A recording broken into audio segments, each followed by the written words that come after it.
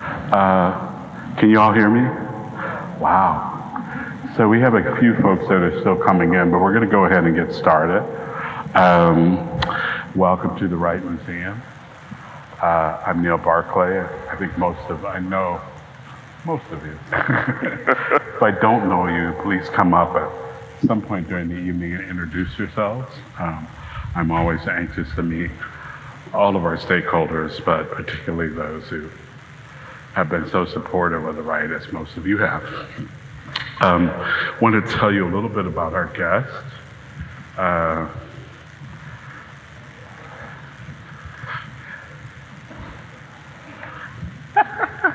look away.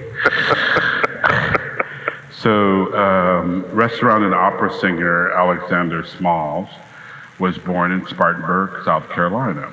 Graduated from Spartanburg High School and enrolled at the Wofford College before transferring to the University of North Carolina School of the Arts, where he received his BFA degree in opera in 1974. He then attended the Curtis Institute of Music in Philadelphia, Pennsylvania, between 1974 and 77. Upon graduation, Smalls, a classically trained baritone, toured professionally as an opera singer. And as a member of the Houston Grand Opera, he performed in George Gershwin's Porgy and Bess, which would earn him a Grammy and Tony Award in 1977. Smalls studied opera and culinary arts in Europe. Upon returning to the United States in the late 1970s, he founded his own catering business, Small Miracle. How do you have that? hey, hey, I got, I got people. CIA. In 1974, he launched his first restaurant, Cafe Beulah, in New York City, specializing in Southern revival cooking that combined gula, gullah and international cuisines. 1996, he would open uh, Sweet Ophelia's, a casual dining venue featuring late night live entertainment in New York City's Soho uh, neighborhood. And he went on to open the Shoebox Cafe, an upscale Southern bistro in New York City's Grand Central Terminal. However, that uh, restaurant was closed in the aftermath of 9 11. Small founded a small catering business, Smalls and Company, where he served a celebrity clientele that included the likes of Denzel Washington, Spike Lee, and Toni Morrison. Ladies and gentlemen, Alexander Smalls.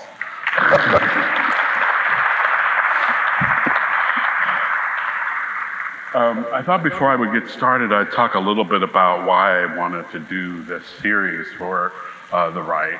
Um, as most of you know, we are an institution that's dedicated to African American history and culture.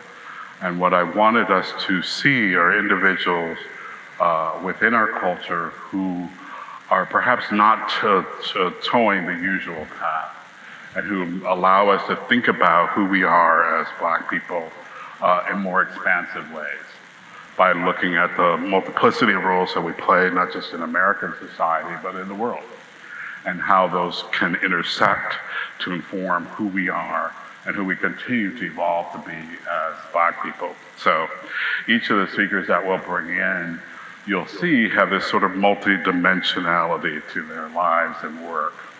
And so I wanted to begin uh, my conversation with Alexander. It actually began last night over several drinks. I am a little hungover behind that, I must admit.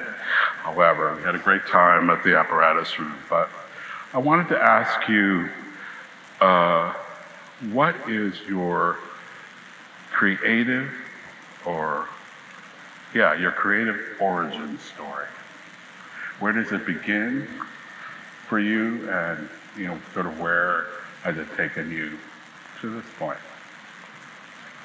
Wow, that's a good question. I don't know that I've been asked that question uh, in that way, but what I'm hearing is uh, I'll respond to. You know, I I grew up in Spartanburg, South Carolina uh, in a Gullah Geechee low country household. That's important because um, essentially when you are from the low country, when you're from Charleston, Beaufort, and Gullah Islands, it means uh, very specific things culturally.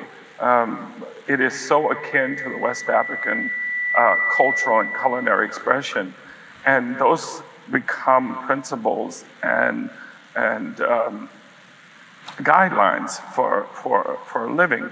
So my grandfather moved the family from Charleston, uh, Johns Island, to Spartanburg when my father was a young kid. Um, and my mother, who was from upcountry in South Carolina, the foothills of the Blue Ridge Mountains, the Piedmont, um, very different cultures that they had to marry together. But the, but the low country and its dominance and its cultures, and particularly its food, was defining. I mean, none of my friends were eating what we ate in my house. it was just so different. I emphasize that only because I'm, I'm setting you up for the, the sort of ambiance of growing up in my household. It was a very loving family. Um, I had three sisters. Um, there was uh, lots of cousins, aunts, and uncles. Um, and essentially, when you grow up in a one horse town, um, in a community in the segregated South, which I uh, managed to straddle both integrated and not integrated in my upcoming, obviously in the 60s, in the late 50s and 60s, and early 70s. But the centerpiece of our lives was food. Everything evolved around the culinary expression. Um, and also, you can imagine in the South, um, a lot of the uh, professional jobs and work for African Americans was in hospitality. You know, uh, you're a chef, or you may be a manager, but uh, in some way, or or you may be a cook or a, a um, you know server. But hospitality was a big part of the cultural expression and the way people um, made a living. So uh, on my father's side, my aunt and uncle were chefs. Uh, both of them were in the Harlem era, uh, uh post Renaissance, cooked in Harlem kitchens, etc. And of course, would always come home. And then on my mother's side, her father and her uncle also were chefs. So that was a big, big part of my life. But this other part was classical music. When I was born, my aunt and uncle, who were a part of the uh, Harlem Renaissance, she was a classical pianist. He was a chef and played piano by ear. They had tried to have kids and uh, had no success. Um, he found out many, many, many, many, many years later when she got her Social Security, she was 12 years older than he thought. So that may have had something to do with it. you know, these little secrets. but nonetheless, when my father finally had a son, my uncle was so overcome with excitement. He and my aunt moved from Harlem back to South Carolina to oversee my education and be a part of whatever it was I was going to be. So as a young kid, I'm running around reciting Shakespeare in my mother's rose garden. I'm listening to opera. I'm studying classical piano, and I was an oddity for most people. It seemed normal to me because, again, it was my environment. The other part of me was cooking with my mother, cooking with my uncle. And so this shaped the foundation of being an artist. And, you know, I often say to people before I say that I'm all those other things that I am, I'm an artist. Because that was the foundation of how I saw the world and how I came up in the world being a creative force. So that's the foundation to the question. Um, I'm, I'm speechless. that's the best answer I've heard of that in a long time. That's really good. I love it. Um, so you've been a strong component of like lifting up the food cultures of the African diaspora as an important part of our history but also of our present moment. And so you sort of get at, get at that in your first answer, but when, when did you begin to realize how important the aspect, this aspect, meaning the culinary history, was to the African diasporic life, and how important that aspect was to really get a complete understanding of who we are as black people, our identity. Well, I think uh, I think I need to bridge the, that question uh, with some some background.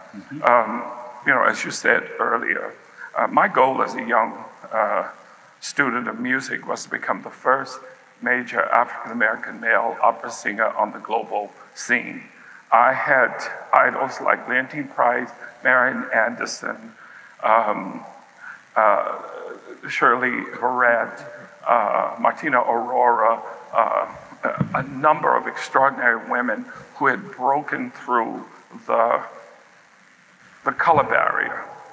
And they were exotic, and therefore women in opera uh, had an easier go at it.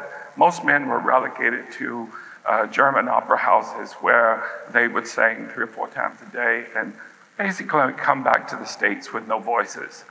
Uh, I was determined to break that cycle, and after my success uh, in New York, um, uh, I took off and moved to Europe, and, uh, and I was singing at the, at the Rome Opera House, Paris Opera House, uh, Florence, uh, Italy, and I was making a name for myself. I'd signed with Cami Artists, and I had planned to come back into New York triumphantly and declare that I was going to be the face of that great black hope in opera. Um, uh, it didn't work out that way. so, uh, my good friend, uh, the opera singer Kathleen Battle, uh, had arranged uh, yet another audition for me at the Metropolitan Opera. And this was the third audition. And I'd flown in from Paris. I was very excited. Uh, in those days, you could smuggle a bottle of wine in your suitcase, and I did, because I knew I was going to have something to celebrate. You know, everything was going as planned, uh, was almost on schedule, I felt, and I was going to have this audition at the Met, and it was going to change everything. Well, actually, it did, uh, but they did not hire me. What happened is, after my audition, and normally you sing an aria, you start a second one, and then they tell you what they want to do with you. I sang two full arias. And I thought this was turning into a concert. And then I started the third one, they stopped me and they said, Oh my goodness, you've grown so much as an artist, you, are this, you're that. And so what they did was, Well, we'd love to work with you, and we'd like to offer you uh, small roles in chorus in our new production of Porgy and Bess. Now keep in mind, I already had a Grammy Tony for Porgy and Bess in a principal role. These people were offering me chorus and bit parts and uh, essentially a chance to be at the Met from somewhere. I have no idea, but I heard it. My mouth moved and said I would not be interested in that. The room just, it was a pregnant pause. People, my agent was sitting there going, I don't believe you just said that.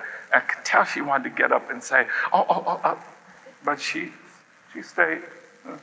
So I left the stage and I, she, I picked up my coat. I walked to the front door. She came running behind me. Do you understand what you're doing here? This is the Met. Sometimes you have to come in the back door. Sometimes you have a. So I stopped her and I said, listen, it seems that I'm the only person in this room that understands I've just been insulted. It's not about the back door, the front door, I can fly in through the ceiling. It's about respect. I have put so much time, yeah, so much time and energy in a career that didn't even make room for me, and still I was there. So I went home. Remember the red bottle, red bottle of wine I told you about in my suitcase? I spent the evening with that bottle of wine and I lit the the gas, the uh, um, those those artificial logs you buy at the grocery store for fireplaces that don't work. I threw that in the fireplace. I strangled my powder. I rolled around on my rug until the wee hours of the morning. But I woke up and I had a plan for Alexander Smalls. That plan was I was going to open the first fine dining African American restaurant period. And what you have to understand, you say, how do you go from opera to uh, culinary arts? But culinary was always my life. Throughout my life as an opera singer, I gave parties. I was a, the consummate New York host. Everybody came to my parties. Everybody. So I was doing all this stuff, you know, just simply because I'm an artist. And an artist creates within the frame and the lens that you have. And so what I learned from classical music, from opera, is that I not only had to have a seat at the table, I had to own the table. I couldn't own an opera house, but I could own a restaurant. I mean, maybe if I had worked long and long, I would have got there. If I had known this guy, we could have opened an opera house together. But I, I knew I could do uh, I could do my own restaurant, and I knew what I needed to do, and I understood throughout my travels that African Americans were not and Africans. I, I, I open it up to Africans. We were not a part of the fine dining, elevated narrative in cuisine. Nobody made space for us there. And so I decided that was going to be my mission. And I was going to do everything I possibly could to bring us into that conversation on an elevated level. And so in the early 90s, I opened the first fine dining African American restaurant and I researched the location. It had to be somewhere they didn't expect us to be. I, I looked for the most expensive real estate I couldn't afford, but it was part of the concept that I had to deliver. So I took it to Park Avenue South. All right? And that was the new up and coming era where all the new restaurants were open. And I opened Cafe Beulah. I took soul food to fine dining. Because as I explain to people all the time, fine dining is a concept, it's not a cuisine. Before there was French fine dining, there was peasant food. And most of us wouldn't have eaten it because they covered it with so much sauce because the vegetables and produce was so bad after the war. But the point is, is that why can't we pair our food with wine, with champagne, with rosé? And so I set out to do that. At that point, not only was I doing something new, but I was becoming an, a culinary activist. And it became important for people who looked like me to have the position, the power, the authority in that arena. Because there were other black chefs, and there were some that were far more talented than me. But the difference is I owned, and I could decide what I was doing, and they didn't. They worked for other people. And their expression, nobody wanted to see our food on a plate and call it elevated culinary dining. But because I owned it, I could do it. That's how I got started.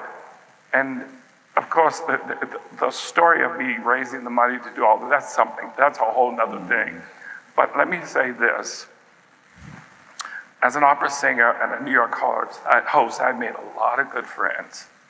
And it was friends and family versus banks and loans that made that happen.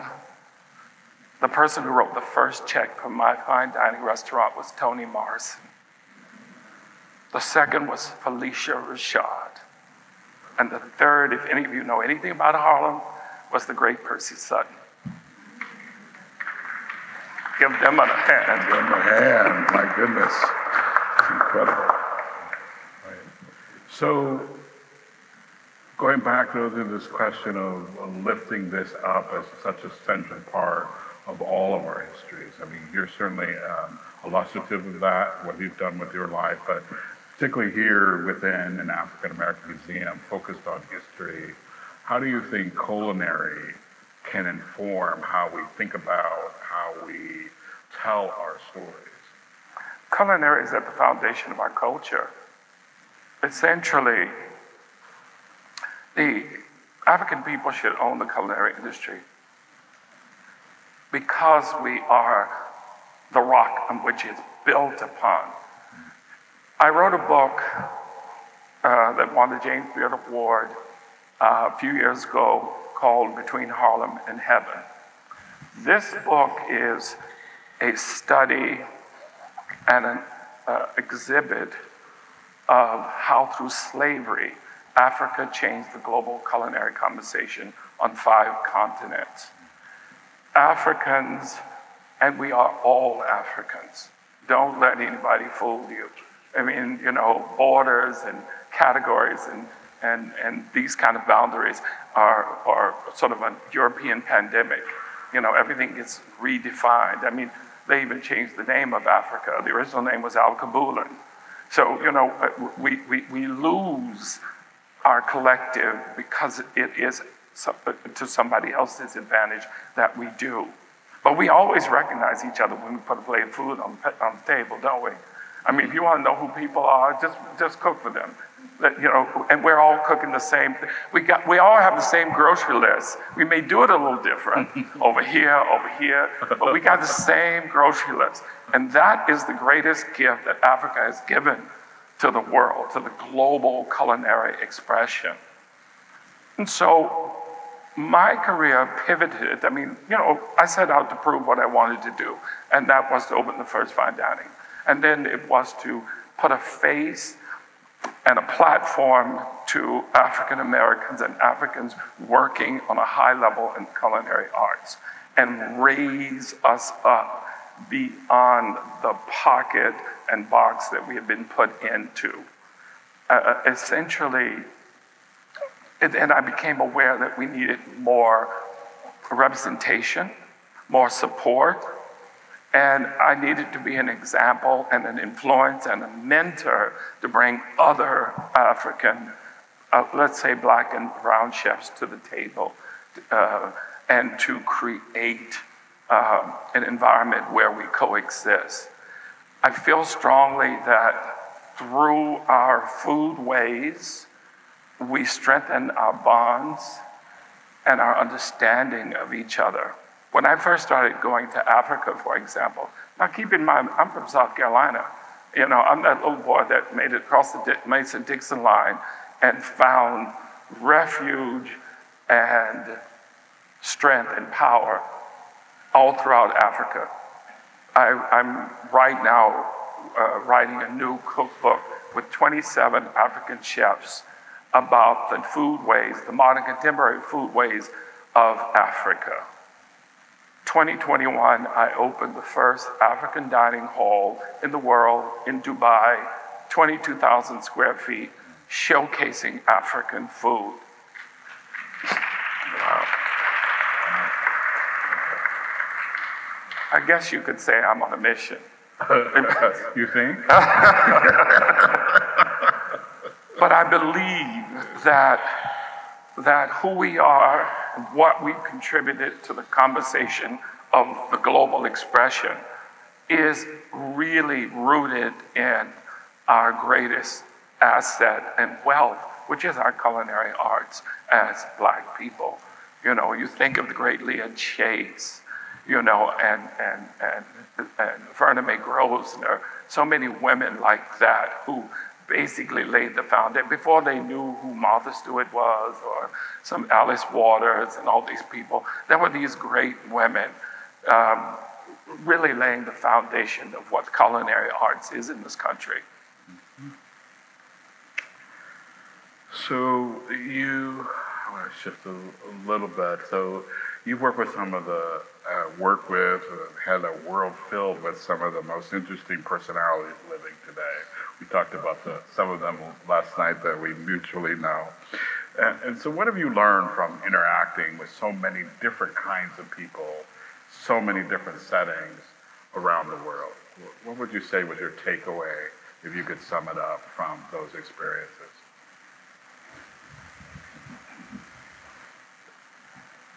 The brilliance of our humanity. Mm-hmm.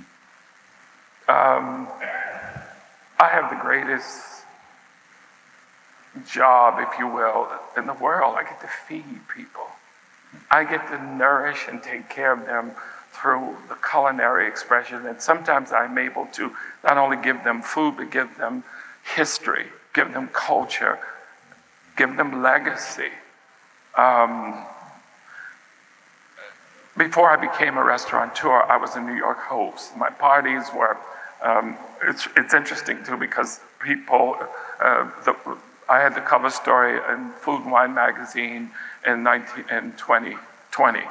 And it was, it was all about the best parties in New York can be found at Alexander Small's house. Um, but it's people. You know, I'm a people collector. I'm a people person.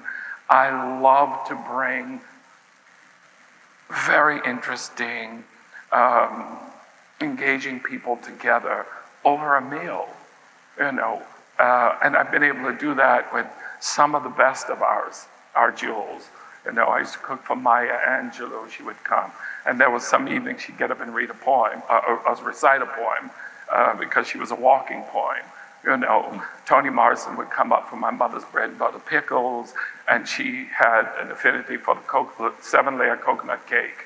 You know, I mean, this is when people are human. You put good food in front of them, and there, there's no difference. There's just humanity. So feeding people around the world, I was very fortunate uh, to be sent by Bloomberg Philanthropies to East Africa in, I think it was 2016, uh, to work with a, a, woman's coffee plantation in Rwanda. And these women, um, they were so amazing. I mean, in spirit, you know, when you really want to see the wealth of us as black people, you know, you take away all the accoutrements, you know, you basically, and it's just spirit and, and, and heart. And they sang and danced for me and they served up their offerings. And, you know, it was, it's as if, you know, a hundred people pulled you into embrace. One of the things I did with them is I took them all to the open market in Rwanda, um, uh, food market, because I wanted to challenge them about their diet. Now, what a lot of people don't know is uh, in many African countries, and even during slavery, we were not, we were not meat eaters. A, it wasn't given to us, and B, the only food we could eat was what we grew. I mean, and after, that was after we took care of master's stuff. Then we had our own garden. If we didn't grow no food, we didn't eat. You know, the concept that, um, you know, uh, uh, uh, we were, you know, eating all this meat and doing all that stuff, that didn't come until later. You know, the great Edna Lewis talks about in her cookbooks. Most of them are, are, are for the most part, vegetarian. And livestock was, was served for special occasions, you know, and, and understanding that from an African American perspective with our history, then going to Africa, for example, Rwanda, they, they, most of their diet is, is, is, is pro, uh, produce. It's a, it's a vegetable diet. Um, but I took all these women to, to, the, to the market and we bought all these things and I went back and did cooking demonstration for them. And because they don't eat a lot of meat, you know, the concern is their protein. So I taught them to make their beans with peanut butter. We grind the peanuts, fresh peanuts from the market, and we made peanut butter. And, they, and that peanut butter created a sauce for those beans that was really good over rice. Baby, Ooh.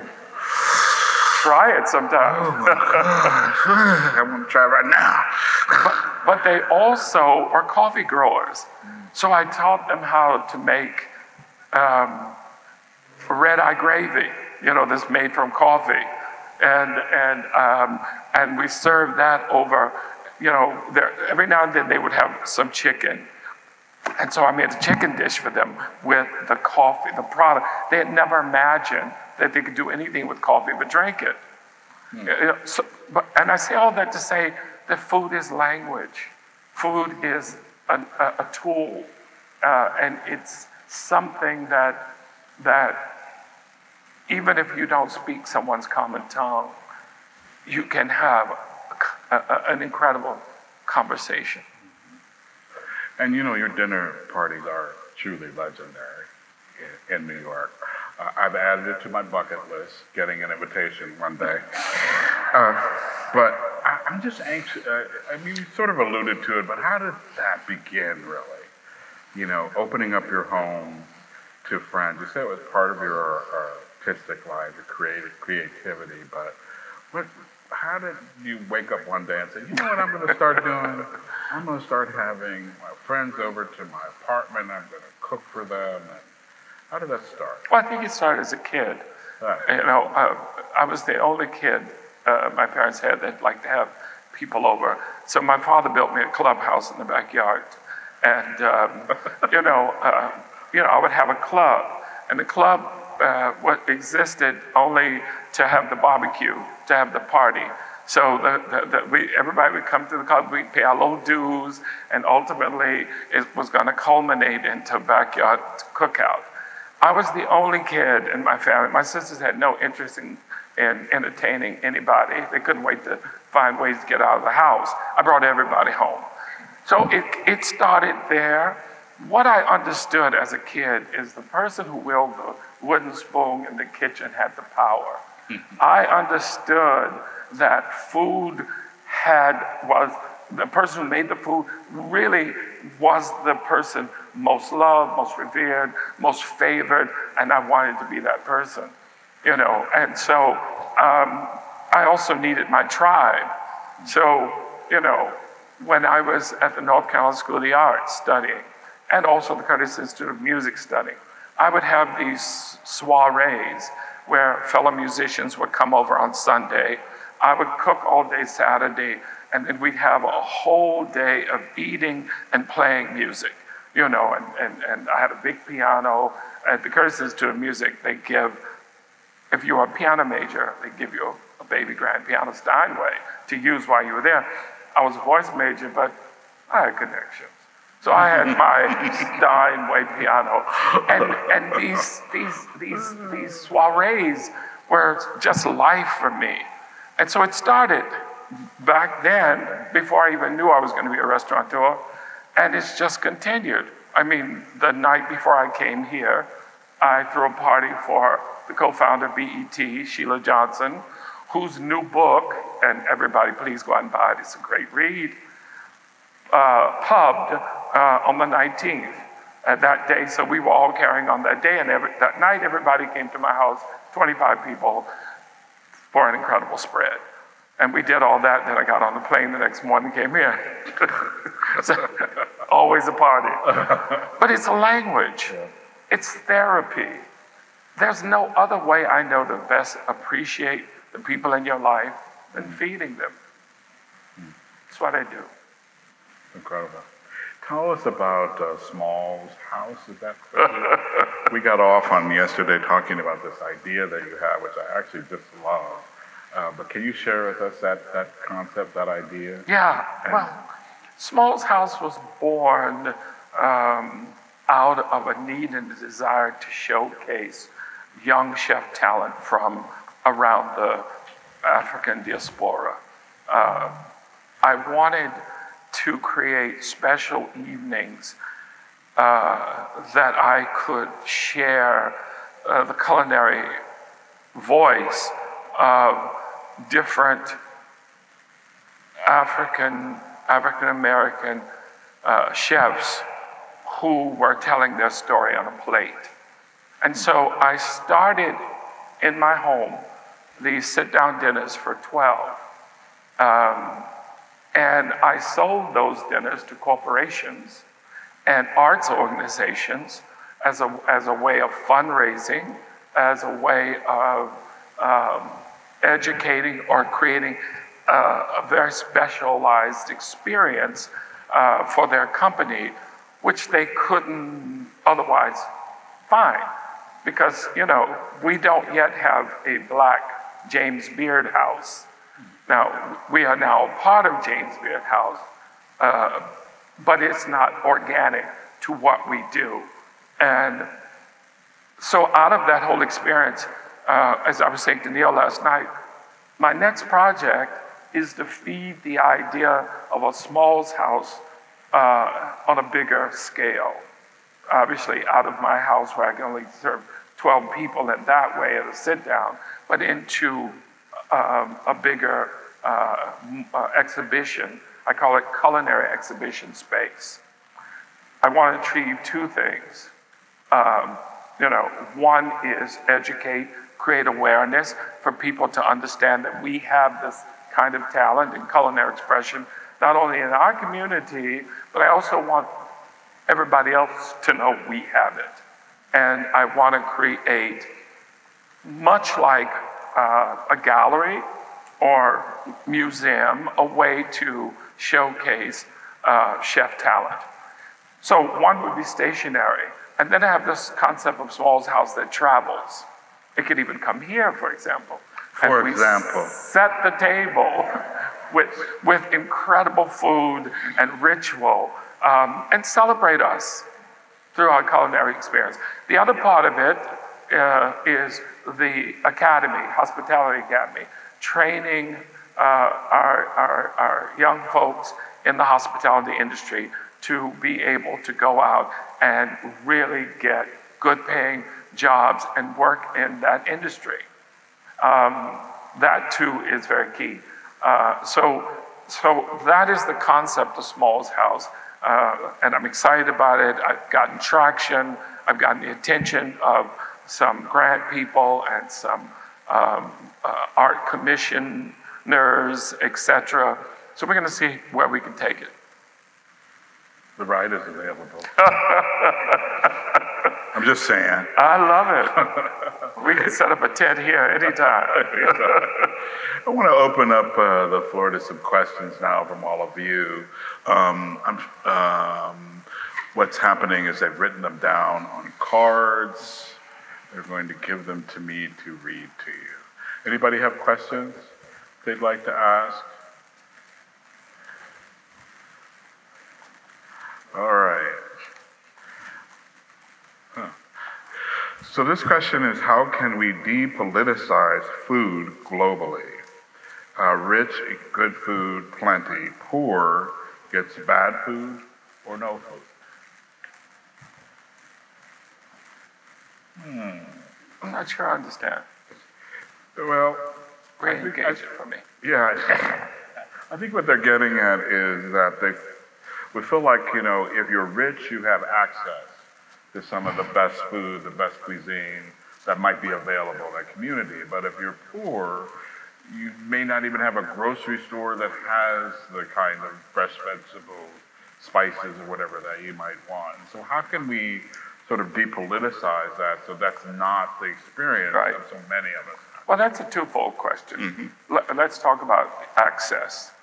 Um, there are a number of communities, especially uh, low income communities. Uh, it is by design that you don't have access. It is by design that you may or may not live in a food desert. Um, you know, you've heard of corporate America uh, you know, uh, the rise of corporate America. And, and, interestingly enough, I did this show called The Food of America, The Food That Made America. Um, I'm featured in that show on a number of episodes. Um, but basically, um, not having access was the point, especially for low income, because what they did is they took away your vegetable stands your food markets and all those things and gave you, you know, Kentucky Fried Chicken and Pizza Hut and all these places. They made that more uh, available and cheaper. I mean, essentially going, I, remember when I first moved to uh, New York, I was living, you know, uh, downtown with the rich white folk.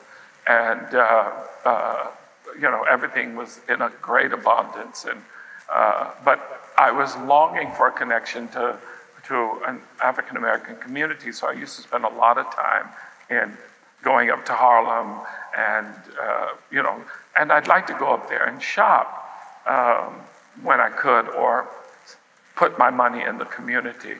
You walked into the, the, the few drug, uh, grocery stores that were there, and the vegetables looked like they were older than dirt literally, not the dirt they came out of. Mm. They were sometimes gray, they're supposed to be green. Everything looked picked over. Uh, you know, sometimes I could smell the Clorox that, uh, from the chickens where they had bathed it, you know, again. It, and the food cost more, or just as much as my food downtown.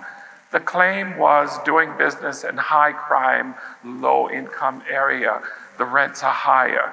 So they, and, and besides, most of them have food stamps or, or subsidies. And, and this, again, was a corporate effort to, so, so you, you have to accept that this was by design. You know, uh, one of the ways that a lot of urban communities balance that. Uh, and I don't know if this happened in Detroit, but in New York, in Harlem, you would see trucks that have driven all the way up from Georgia and South Carolina full of produce. And they park on the street and sell groceries out of the back of that truck, produce. And, and it wasn't that long ago, because I remember living on Strivers Row in Harlem, 138th Street. The, the truck was on 7th Avenue. There were uh, many times where I would just go over there and buy a whole bunch of stuff because that's how they balance the food desert part. So that's one part of the, the question. You also have to remember that we live in a country that would rather throw perfectly fine, good vegetables in the garbage to keep the price from, from uh, up, from, from going down, rather than give it to you. You know, and the food they give oftentimes to food banks, uh, really, that's so restrictive. They pay farmers to, to burn their crops. I mean, this is the world we live in. So the cards are stacked against you if you're if you live in a low income community, if you don't have, they make it twice as hard and twice as expensive to have these things. You know, what, what's the answer to this? Well, we got to get the right people in political uh, representation. Um, we have, you know, organizations, nonprofits that do what they can. But this is about how the government functions. You know, I, am not sure I'm totally answering the question for you, but it's, it's, it's, it's a big question. And it's, it's, a, it's, a, it's systemic in our culture um, that, that it's so difficult uh, for you to, to eat the food that's best for you. Because no one who's making the, the corporate decisions wants you to. They want you to go to the fried chicken place and they throw in a whole quart, whole gallon of, of, of Sprite for you. you know, and if you could read, you know, the ingredients and the inferiority of those products, it would cause you to pause. Um, here's a question Is there anything that you would like to speak to with regard to the future of food in the face of climate change? in the face of climate change, we are all in trouble. And it's just not our food, it's our very lives. I mean, I don't know if you've been under a rock, but if you've seen the news and the, and the catastrophes, the floods, the quakes, the fires, all of it, I mean, we are on the verge of a huge mess.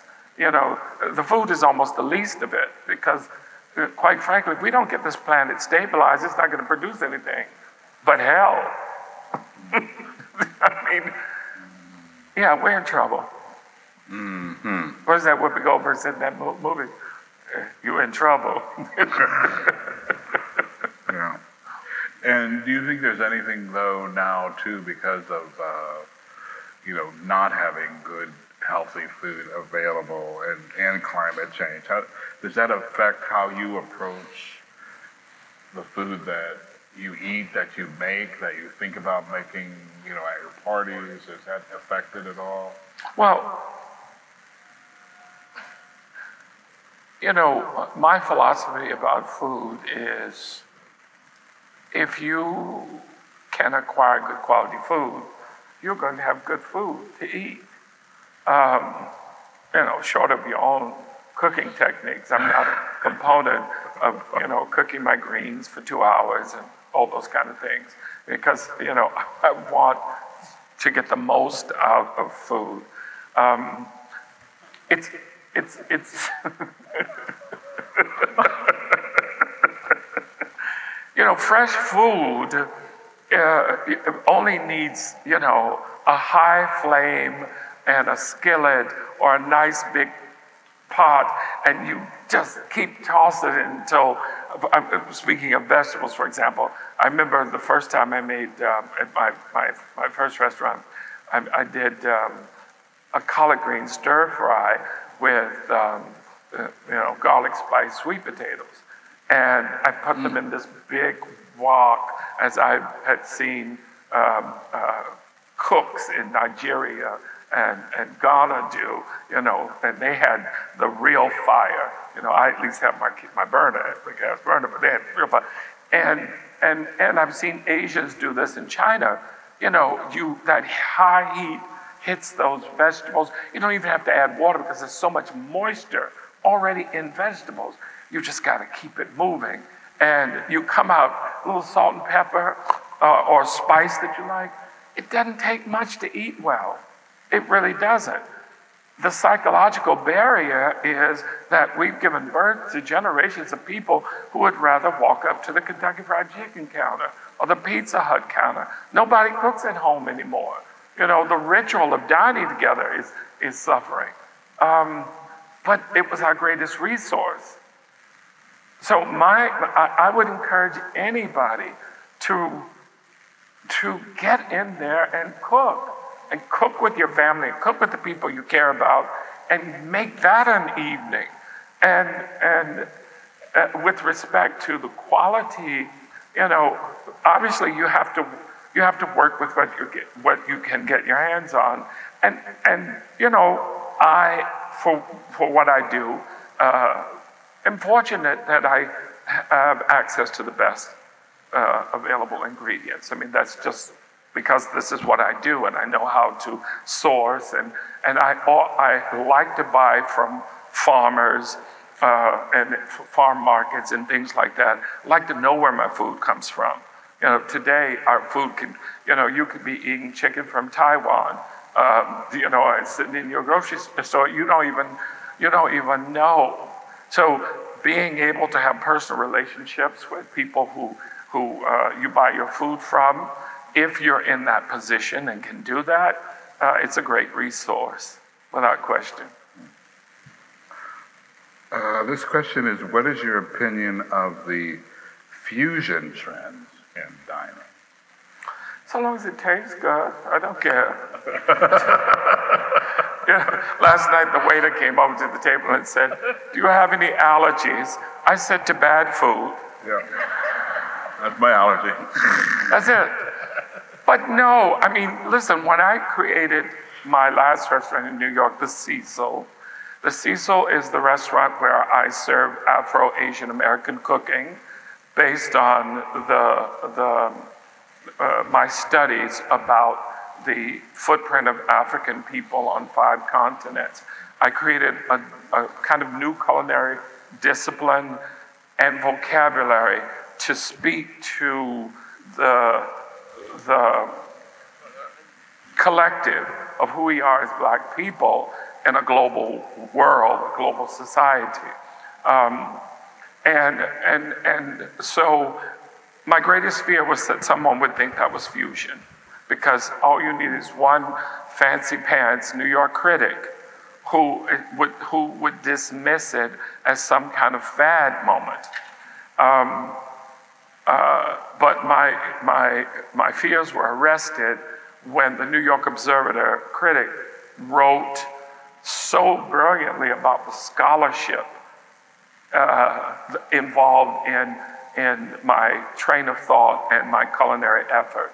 How I had essentially used uh, Africa's, um, well, and all this is through slavery, because that's how we got on five continents in the way in which, uh, so foundationally, and how I was telling the story of, of, of, of our, the landscape of our lives.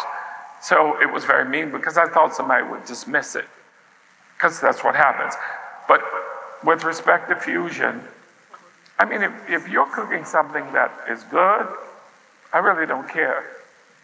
I don't care. I, I spent you know, I almost opened an Italian restaurant. The reason you say, I lived in Italy for three years as an opera singer, and I went for 20 summers uh, uh, uh to uh, uh, Italy every year. I can make some Italian food, and I love Italian food, but that wasn't my story to tell. Yeah. So we just have a few more minutes. I've got a lot of great questions.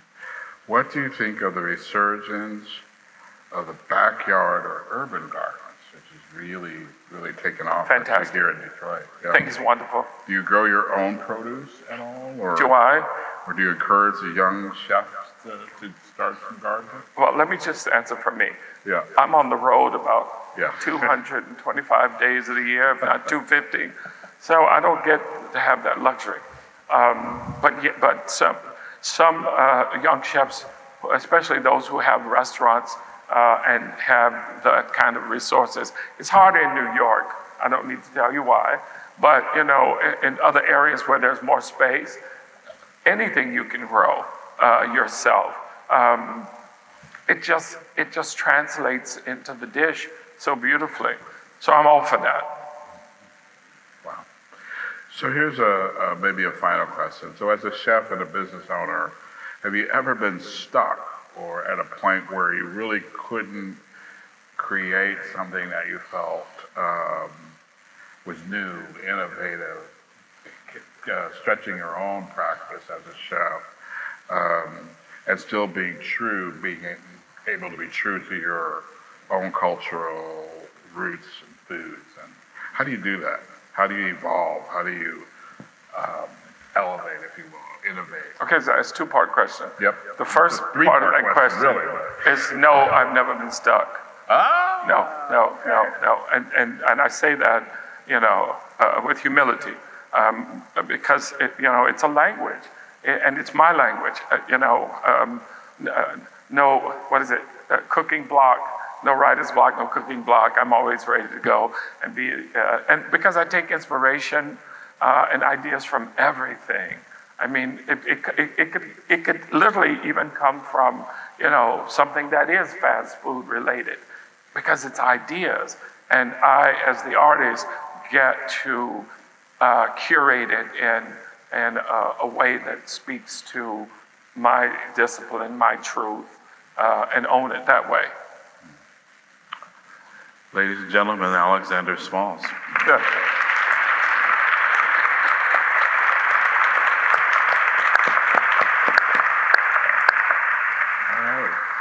Thank you all uh, for joining us. Um, someone help me. Our next uh, Wright conversation is Attorney Benjamin Crump in February. So uh, please come back and join us uh, for that conversation. I'm sure it'll be quite interesting. What's that? Books? Ah, yes. Gotta press that, push the books. So we have uh, two of uh, Alexander's books in the bookstore. Is that where they are? Yes.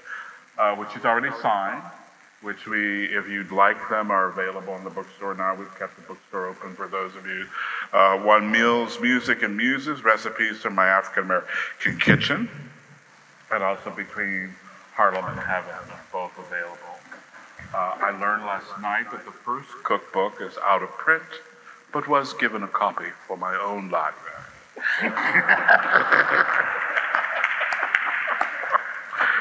Thank you all for joining us. Thank you. Thanks for the welcome. This is fun. That was. Great. You're great. Uh, easy con- conversations. Such great stories. Well, we set the, we set the tone last night. Yeah, we did.